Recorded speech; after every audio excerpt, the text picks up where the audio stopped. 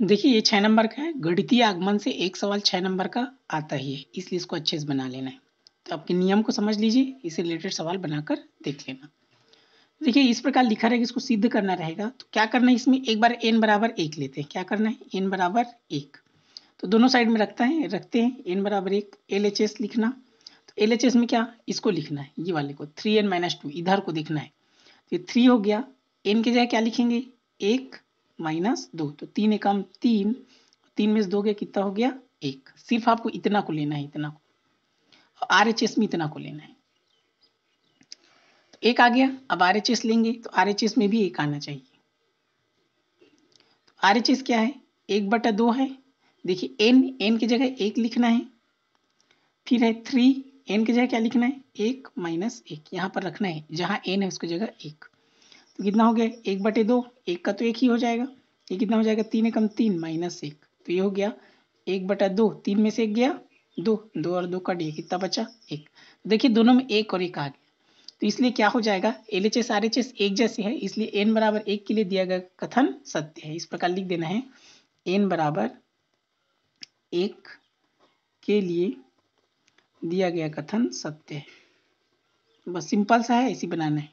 सब में ऐसी करना है। दिया गया कथन सत्य एन बराबर एक लेना है, सब में दूसरा में क्या करना है? एन बराबर एम लेना है। मान लो हम एन बराबर क्या लेते हैं? अब एम तो एन बराबर एम के लिए दिया गया कथन सत्य है। ऐसे लिख देना। एन बराबर एम के लिए दिया गया कथन सत्य है। इसे पहले से लिख देना। अब डायरेक्ट इसको क्या करना है? सीधा ऐसे करके आप इसको लिख सकते हैं। पी एम इक्वल करके। क्या करना है? जो प्रश्न है, उसी को लिखना है। देखिए, जो प्रश्न इसी को लिखना है। बस जहाँ एन है ना, उसकी जगह एम लिख देना। तो थ्री एम माइनस टू हो जाएगा one by two M three M minus one मतलब प्रश्न को लिखना है बस। वन प्लस इस प्रकार one plus four plus seven plus dot dot dot ये प्लस हो जाएगा। यहाँ पर जो है ना, ये थ्री एन माइनस टू है, उसको क्या लिखना है? थ्री एम माइनस टू लिखना है। बराबर एन की जगह एम बस लिखा हूँ। यहाँ भी एन की जगह एम लिखना है तो one by two M three M minus M one one by two M, three M three M minus one. इस प्रकार। क्लियर है? सिंपल सा है। एन की जगह एम बस लिखना है। हो गया? अब एक बार लेना है एन बराबर एम प्लस वन ये इसका नियम है। सब में इसी लेना है। एन बराबर क्या लेना है? एम प्लस वन तो यहाँ पर आपको थोड़ा रफ कार्य करना पड़ेगा। एन बराबर एम प्लस वन तो इसमें आपको क्या करना है? यहाँ पर आपको याद रखना है। जहाँ एन है, उसकी जगह क्या लिखना है? एम प्लस वन इसको थोड़ा समझिए। जैसे ये लिखा है इस पे आपको ध्यान देना है। थ्री एन माइनस टू है ना? अब क्या करना है? आपको एन की जगह एम प्लस वन लिखना है। तो थ्री हो गया। एन की जगह क्या लिखेंगे? M plus one minus two तो हल करेंगे थ्री और एम का थ्री एम हो जाएगा। तीन कम तीन माइनस दो। तो थ्री एम हो गया, तीन में दो गया, एक। ये जो आया है ना, इसी को दोनों पक्षों में जोड़ते हैं। तो इसको सब में आपको ध्यान रखना है। यहाँ पर n बराबर n की जगह में m प्लस वन रखना है और हल करने की बात जो भी आएगा, उसको दोनों पक्षों में जोड़ते हैं। क्लियर हुआ? तो हमको क्या करना है? थ्री एम प्लस वन दोनों पक्षों में जोड़ने पर। तो इस प्रकार यहाँ पर लिखना है। तो सबसे पहले आप इसको लिख लीजिएगा प्रश्न को। ये प्रश्न को ही पहले लिख लीजिए। इसको, ये जो प्रश्न है, इसको पहले लिखना है। क्या लिखना है यहाँ पर? पी एम प्लस वन इस प्रकार करके आप लिख सकते हैं। क्या लिखा है? One plus four plus seven plus plus ये हो गया थ्री एम माइनस टू। अभी प्रश्न को लिख लीजिए, इसी को लिख लीजिए।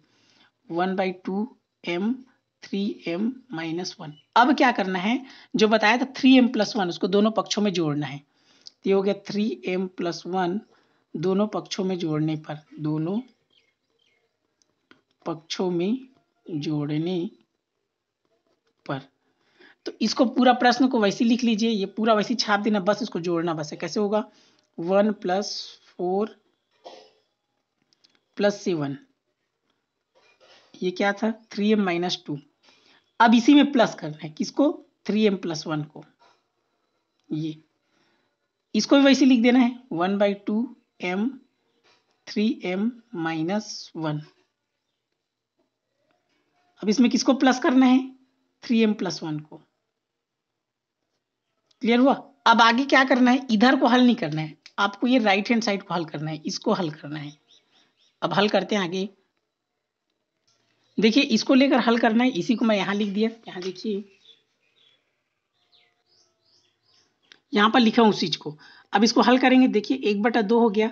एम का इसमें गुड़ा कर देना। तो क्या हो जाएगा? थ्री एम स्क्वायर हो जाएगा। एम एकम क्या हो जाएगा? एम प्लस क्या हो गया? थ्री एम प्लस वन है। तो देखिए, ये जो दो है ना, इसका इधर गुड़ा हो जाएगा, ऐसे तीरिया गुड़ा हो जाएगा। तो दो तीय कितना हो जाएगा? छः एम और ये कितना हो जाएगा? दो एकम दो। इस प्रकार गुड़ा करेंगे, तब यहाँ पर आपको क्या लगाना पड़ेगा? बड़ा कोष्टक लगाना पड़ेगा। क्लियर है? यहाँ से कोष्टक हटा दीजिएगा। ये देखिए एम का गुड़ा इसमें तो थ्री एम स्क्वायर एम ए कम एम अब इस दो का गुड़ा इसमें कर दिया। दो तिया छः एम और दो एकम दो। तो यहाँ बड़ा कोष्टक लगा देना। अब देखिए क्या हो गया? एक बटा दो हो गया। अब यहाँ देखिए थ्री एम स्क्वायर हो गया। ये देखिए, ये प्लस है और ये माइनस है तो छः और यहाँ एक रहता है। छः में से एक गया, पाँच एम छः बड़ा इसलिए क्या होगा? प्लस और ये क्या हो गया? प्लस दो। अब इसको ऐसे हल करना है, ऐसा दो संख्या लेना है, जिसको गुड़ा करने में क्या है? छः और जोड़ने में पाँच। तो गुड़ा किसका किसका होगा? पहले इसका। तीन दूनी छः गुड़ा करते हैं ना गुड़ानखंड दसवीं। पढ़े हैं? तीन दूनी छः तो ऐसा दो संख्या लेना है, जिसको गुड़ा करने में छः और जोड़ने में पाँच। तो तीन दूनी छः और तीन और दो कितना होता है? पाँच। ये हो गया एक बटा दो, ये थ्री एम स्क्वायर हो गया। पाँच की जगह क्या लिखना है? Three M plus two M और ये प्लस क्या हो गया? टू जोड़ा बना देना। दसवीं का है गुणनखंड विधि।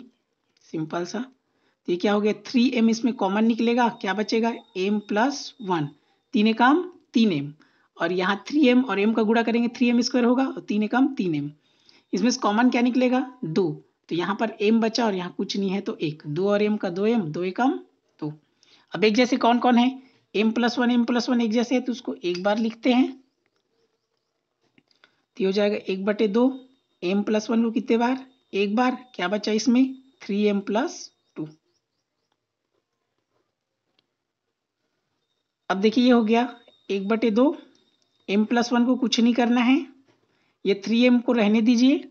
अब इसको क्या करना है आपको? दो को हम तीन माइनस एक कर देना। तो तीन में से एक गया दो। अब क्यों किया? ऐसा बता रहा हूँ।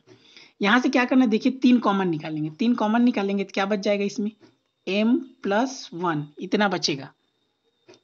और उसके बाद ये क्या हो गया? माइनस वन तीन एम और तीन एकम तीन। यहाँ से एम प्लस वन पहले से है।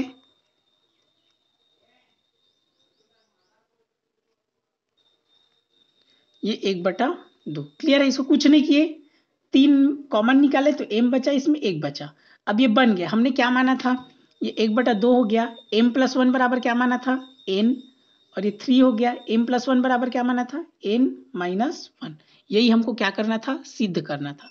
तो लास्ट में लिख देना, अतः एन बराबर एन प्लस वन के लिए एन बराबर एम प्लस वन के लिए दिया गया कथन, के लिए दिया गया कथन सत्य है।